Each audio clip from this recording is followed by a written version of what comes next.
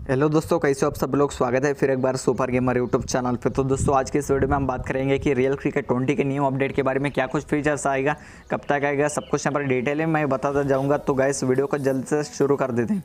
तो दोस्तों, अभी तक हमारे चैनल को सब्सक्राइब नहीं किया तो सब्सक्राइब कर लो और बेल आइकन को दबा लो ताकि आने वाले वीडियोज़ का नोटिफिकेशन आपको मिल सके।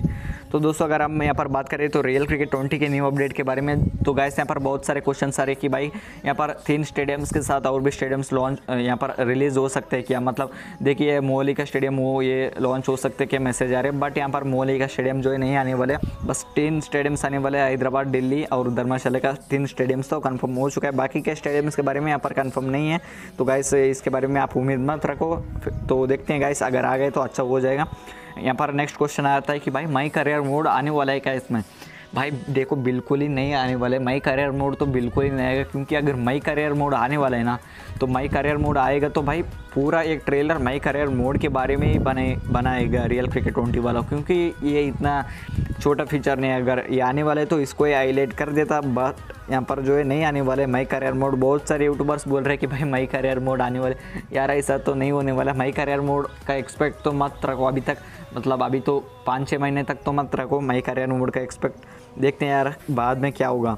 अगर यहाँ पर जो है डब्ल्यू सी सी थ्री के बाद वहाँ पर रिलीज़ होगा ना, जब हो सकता है मतलब जब देख सकते हैं कि भाई कंपटीशन करने के लिए my career mode real cricket twenty भी ला सकते हैं। अगर हम बात करें तो ग्राफिक चेंज होगा क्या? बहुत सारे ऐसे कमेंट्स आ रहे हैं। ग्राफिक तो कुछ भी चेंजेस नहीं होने वाले। ग्राफिक जैसे है, वैसे रहेगा। इसमें कुछ चेंजेस नहीं मिलेगा। और कमेंट्री भी आपको चेंजेस देखने को नहीं मिलेगा। और गाइस अपडेट कब तक आएगा, ये बहुत क्वेश्चन रहे हैं।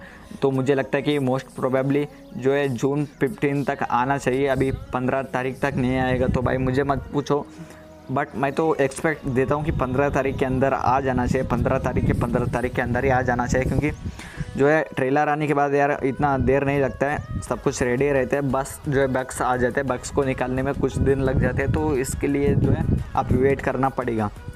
अगर हम यहाँ पर बात करें तो गाइस और भी यार क्या नए फीचर्स आ सकते हैं। नए फीचर्स तो कुछ भी नहीं आने वाला है। जो आपको नया फीचर्स एक नया फीचर आपको देखने को मिलेगा, जो कि road to R C P L आपको पता ही होगा कि रोड टू वर्ल्ड कप जैसा था, वैसे ही आपको road to I P L या आर सी पी एल आप बोल सकते हो तो आ जाएगा। मतलब सभी ईयर के जर से आ जाएँगे आई पी एल का। 2008 से लेकर 2019 तक जितने भी टूर्नामेंट्स हुए, उस ईयर का आपको जर से आपको देखने को मिलेगा, अगर आप उस ईयर का खेलते हो तो।